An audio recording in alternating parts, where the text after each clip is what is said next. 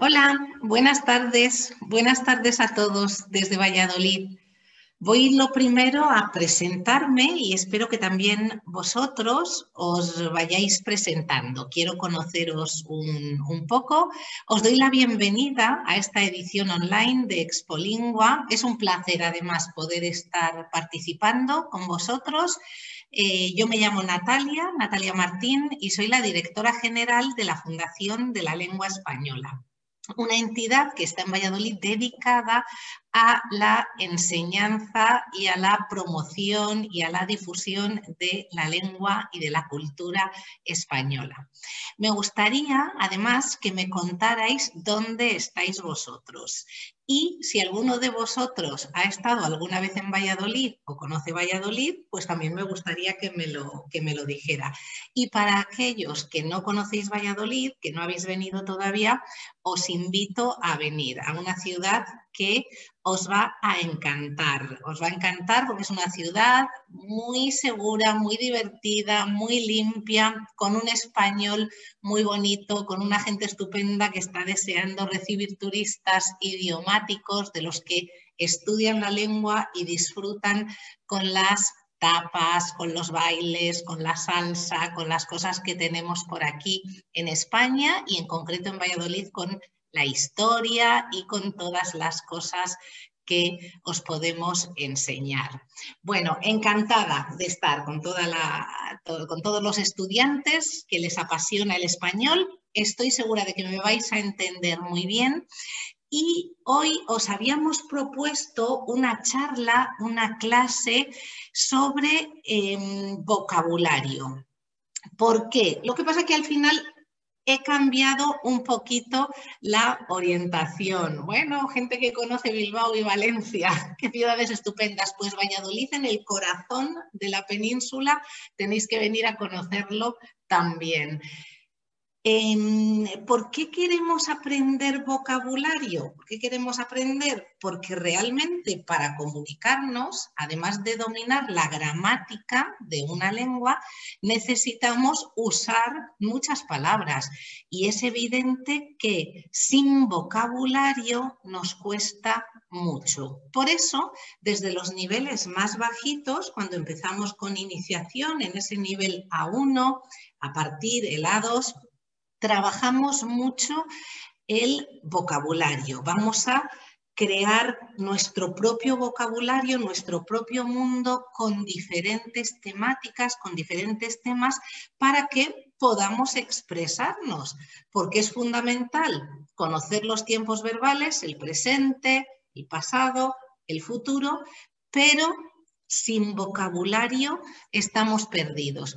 Por eso optamos los profesores por agrupar el vocabulario en familias, familias de vocabulario, y empezar a estudiarlas. ¿Cómo las estudiamos? Bueno, pues ya hace muchos años que dejamos de utilizar listas, hacer listas de vocabulario y estudiar el vocabulario. Y pasamos a otras metodologías. La metodología que más utilizamos son las famosísimas flashcards o esas tarjetas, esos tarjetones, esas cartas de vocabulario, de palabras agrupadas por grupos o por familias. Hoy no vamos a tener mucho tiempo para dedicarnos a eso, por eso, como os decía al principio, decidí cambiar y elegir otro tema, trabajar una de las cosas que más suele costar a los extranjeros que se acercan al español, que es los diferentes usos del verbo ser y estar. Vamos a dar un repaso a esa gramática que además por lo que me han comentado creo que se acopla mejor a vuestros niveles, a, los niveles que estáis actualmente cursando. Pero sí que os quiero contar el uso que hacemos los profes de las flashcards, de las tarjetas que aquí en la fundación, cuando damos nuestros cursos de español para extranjeros, las trabajamos mucho y nos dan muy buen resultado. Y lo que hacemos con ellas es, con todos estos tacos de tarjetas llenas, llenas, llenas de vocabulario que os van a hacer hablar, Eh, no nos dedicamos a empollarnos las de memoria, a aprendernos las de memoria. Lo que hacemos es estudiarlas en uso y dar forma a frases, construir frases, utilizar los ejemplos en las que las vamos a utilizar. Y así trabajamos con flashcards desde las más sencillitas en las que empezamos con los saludos y los alumnos empiezan a aprender todas estas eh, estas formas de saludar. Hola, buenos días, buenas tardes, buenas noches. ¿Qué pasa? ¿Qué pasa? Perdón, perdone, disculpa, ¿qué? ¿Cómo? Todas esas cosas que utilizamos y que las ponemos en contexto.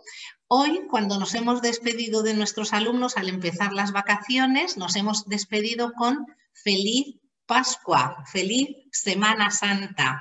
Todas esas Em, eh, cuestiones de los saludos, las vamos tratando, pero seguimos con familias y grupos de palabras, trabajamos las preposiciones, y después, en las familias de palabras, hablamos de tecnología, de tiempo libre, de comida. Tenemos que aprender todas las cuestiones relativas a la comida y a la mesa, cuando estamos en la mesa, cuando vamos de compras, el famoso shopping, la naturaleza, etcétera, etcétera, etcétera.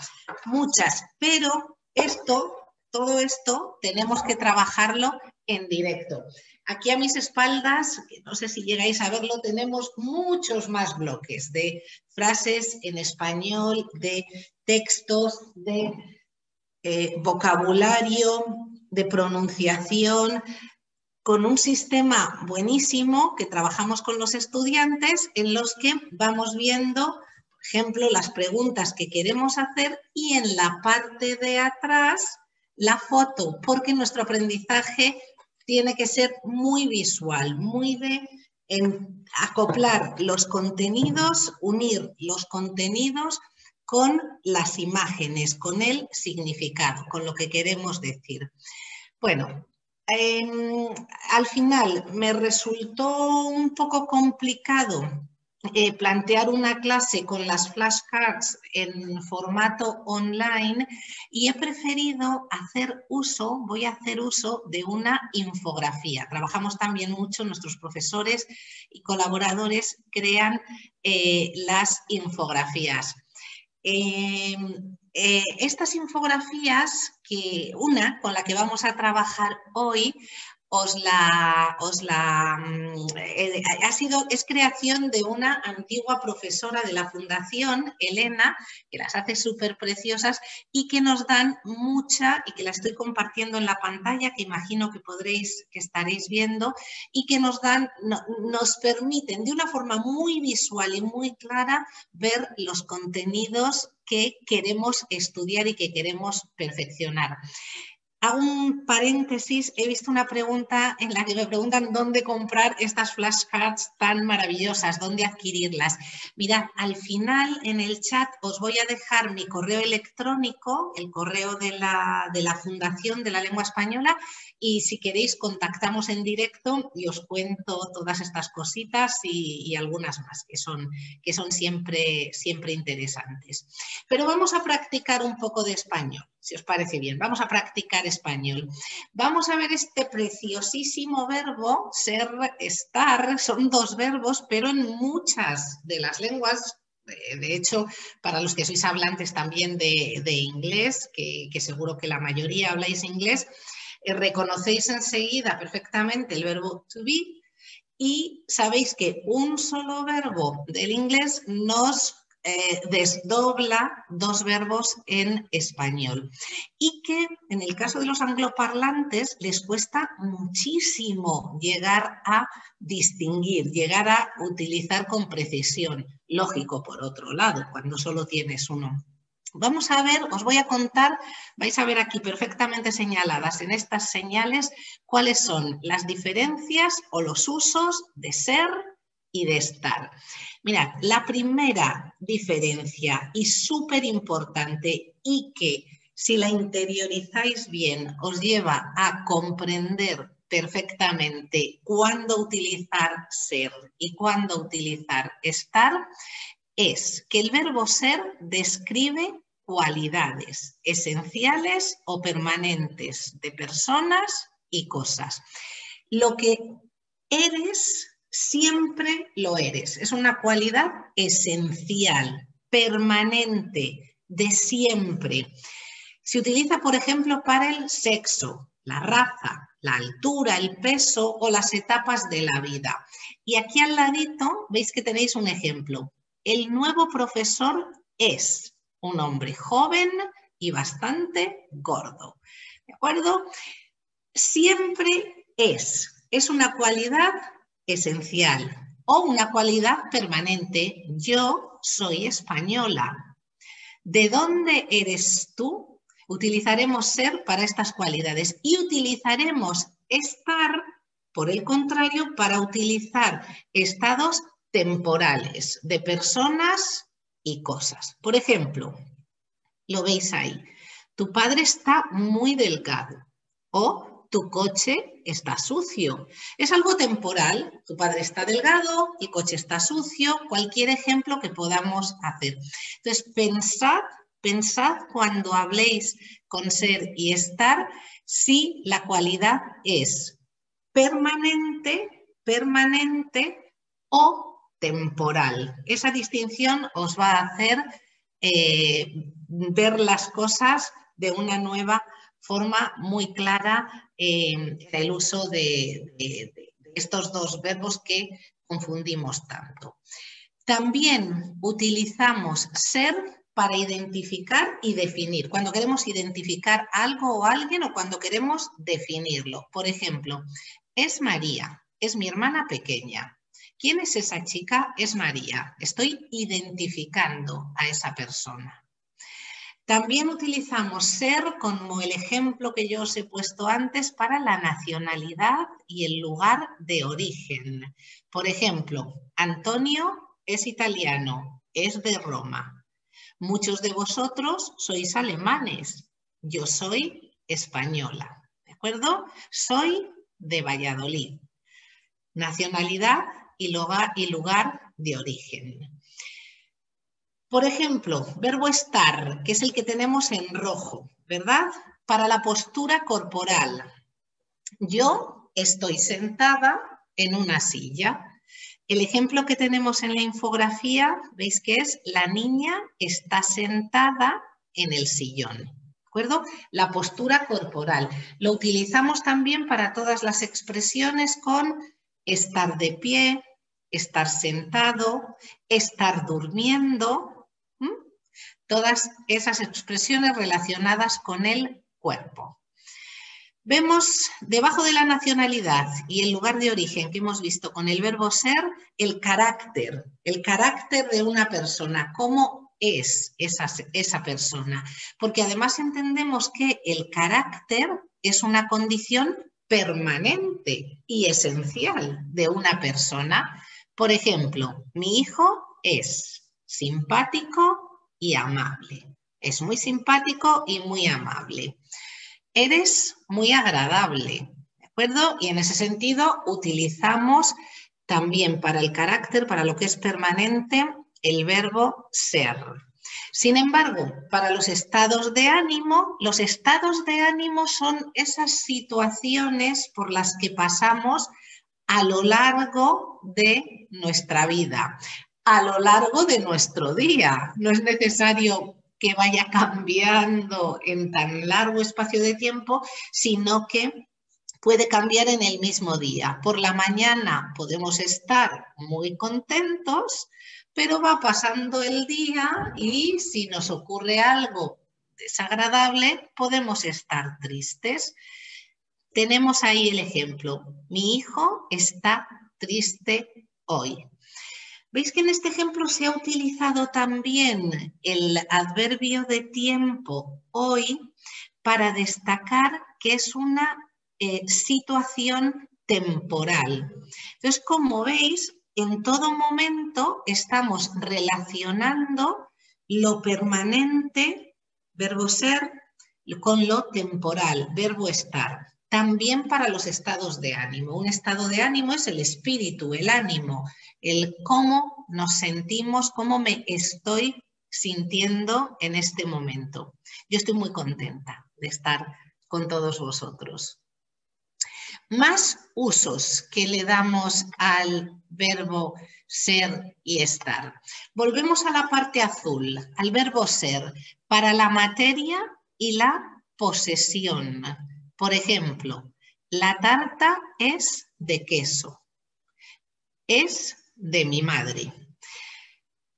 La materia, ¿de qué eh, son las cosas? Pues una tarta es de queso, la mesa es de madera, la mesa es de madera, las flashcards son de cartón o de papel, ¿verdad? Esa es la materia. Y luego la posesión. ¿Es mío? ¿Es tuyo? ¿De quién es este teléfono? Es de Natalia.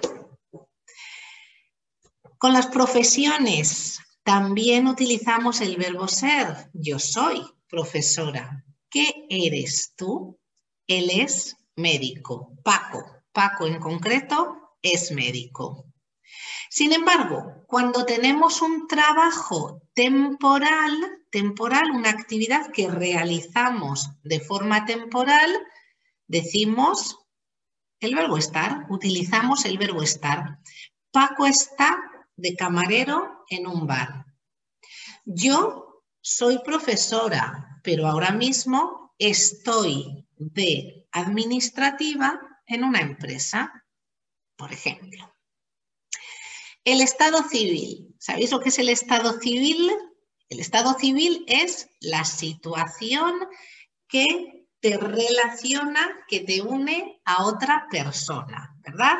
Los estados civiles, el estado civil en, español suele ser, bueno, en español y en todos los idiomas, pero en español lo llamamos soltero, casado, viudo, separado o soltera, casada, viuda, separada.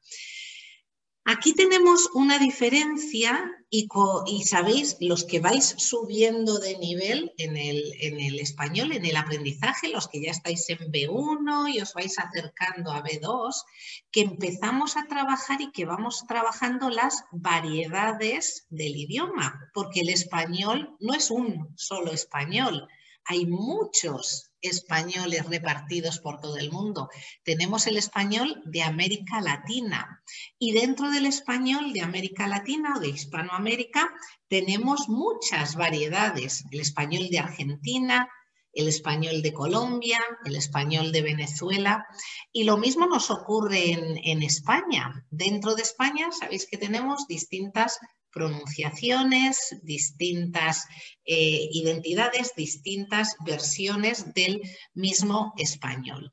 Bueno, pues fijaos qué cosa más curiosa ocurre con el Estado civil. Esto lo tenemos cuando vamos, como os decía, eh, creciendo en el, en el aprendizaje del español, tenemos que aprender las distintas variedades de los distintos sitios igual que cuando aprendemos, inglés, pegamos un poquillo de atención al American English, British English, bueno, pues lo mismo hacemos con el español.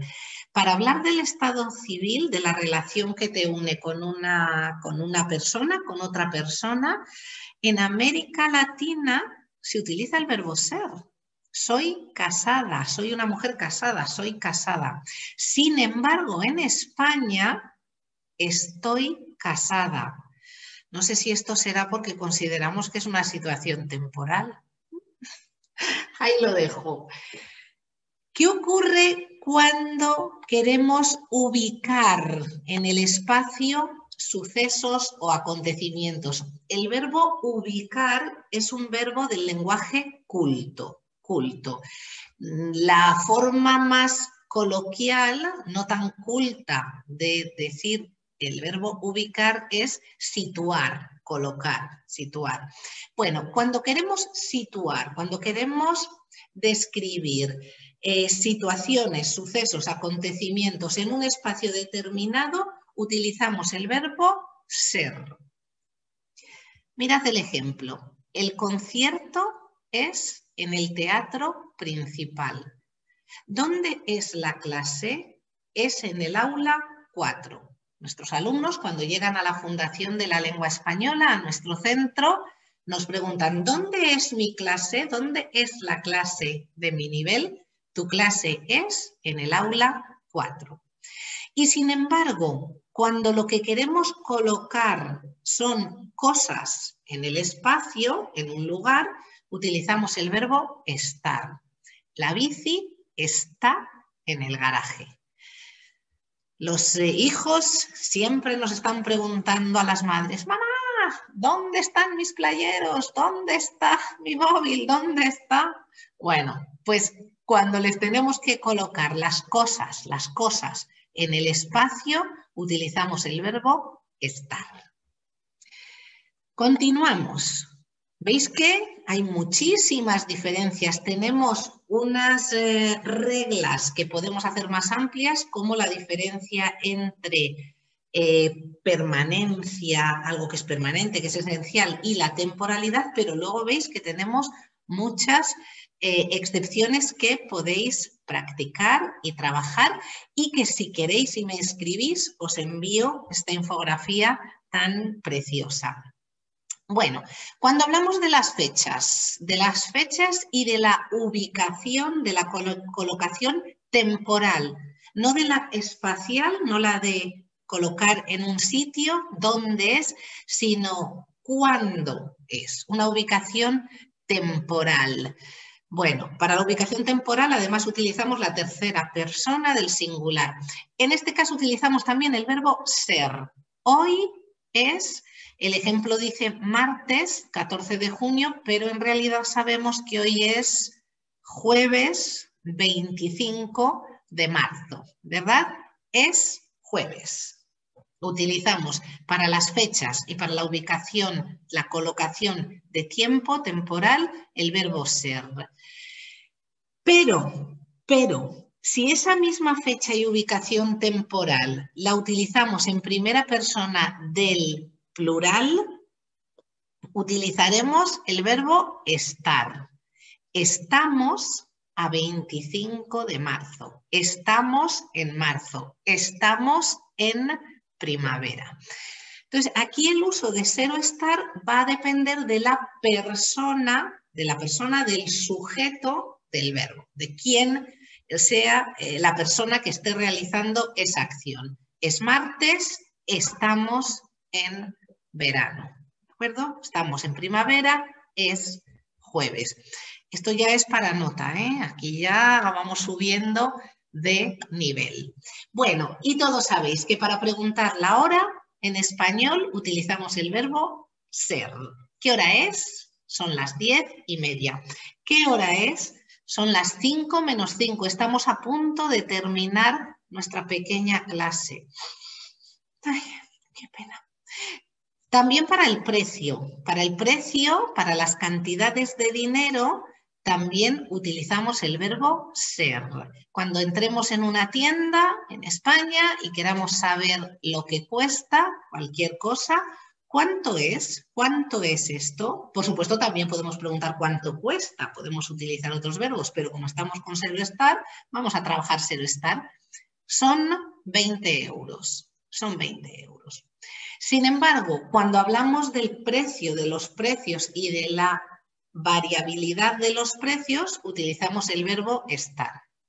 El euro está hoy a 1,2 dólares, a 1,20, ¿de acuerdo? Ahí utilizaremos el verbo estar. Bueno, cuando queremos valorar un hecho o a una persona, valorar es definir, decir cómo es, eh, manifestarnos sobre lo que pensamos, expresar nuestra opinión, pues cuando vamos a valorar un hecho a una persona y lo vamos a utilizar después con un adjetivo y un sustantivo que llevará determinante o no, utilizamos el verbo ser.